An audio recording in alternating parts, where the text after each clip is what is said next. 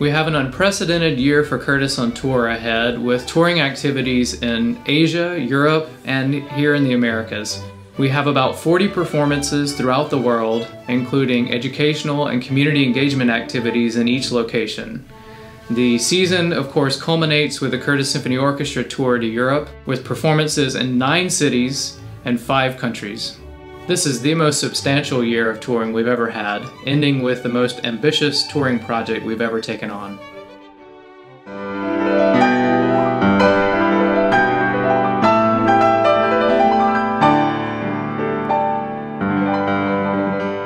The value of Curtis on tour for me, it's the experience of touring, of what it means to be traveling and performing and getting to play with great musicians is also a, really a great experience.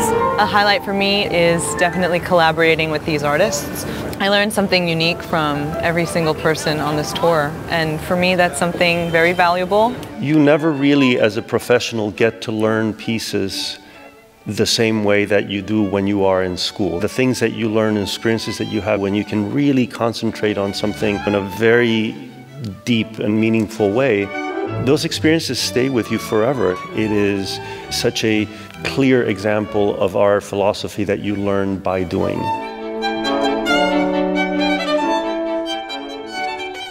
For us to give the students the opportunity to not just learn by doing in Philadelphia, but learning by doing what incredibly successful musicians actually do. They go on tours.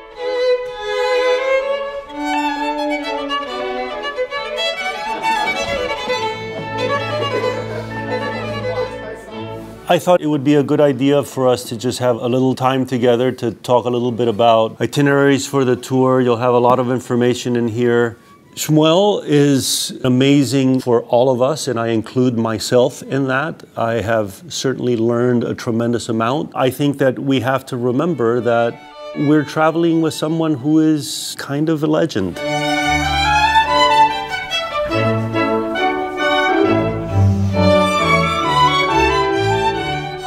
It's amazing how close people become because of the fact that they're sharing this common experience, and it's usually based on the music. It's really wonderful because we've seen this basically on every single trip that we've done.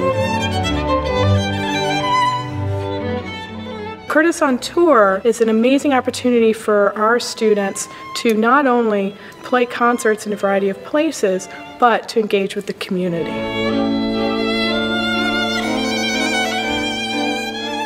I love doing side-by-sides. I remember when I was really young and I did a side-by-side -side with uh, the Philadelphia Youth Orchestra when I was in All City. You get to play next to these great players and I was very inspired when I was young. I was sitting right up front with the uh, principal cellist of the Sacramento Youth Orchestra. He was 10 years old.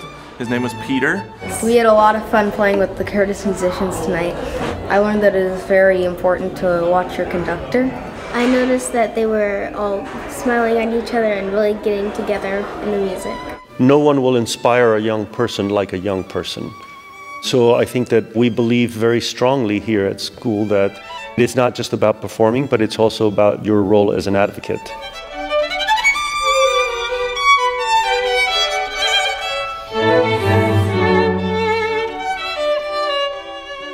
The Mondavi Center and Don Roth, they have been our partners from the very beginning. One of the things I really uh, love about the program is it brings the students together with their teachers, with the faculty, with distinguished alumni. So it's never a pure student show, but it's really a mixture of these multi-generational uh, artists from Curtis. And I think that makes it very powerful. Curtis on tour didn't exist when I was a student. And now it became a very, very valuable instrument for the students to learn from performing. And also it's wonderful for me to see how they support each other.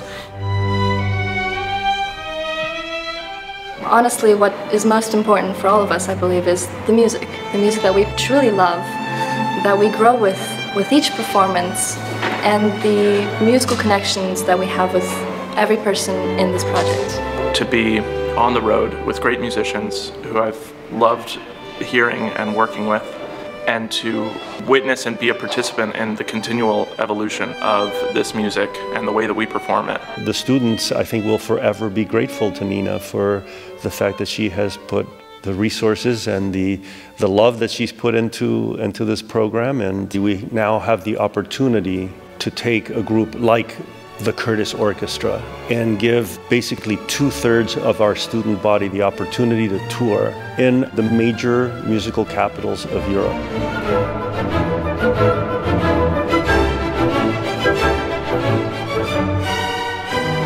We are very fortunate and lucky to have put together this wonderful tour for the Curtis Symphony Orchestra this May and June. It's a huge tour. It's very impressive what they do in London, Berlin, Vienna, Salzburg, Dresden, Bremen, Helsinki.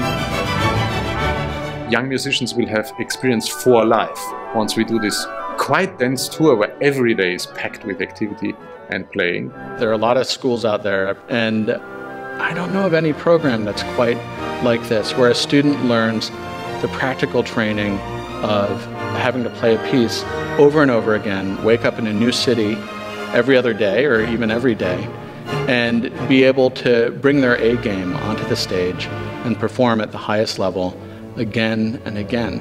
It's like a once in a lifetime opportunity to get to do this and travel and play in these world renowned venues. It's the most exciting thing, and I'm definitely going to remember it for the rest of my life. There's really nothing more instructional than really getting out on the battlefield and doing it.